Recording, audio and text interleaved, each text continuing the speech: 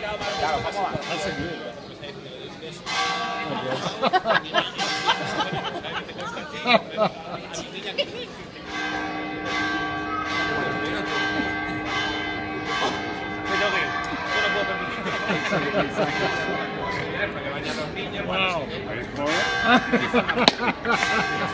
oh man. Oh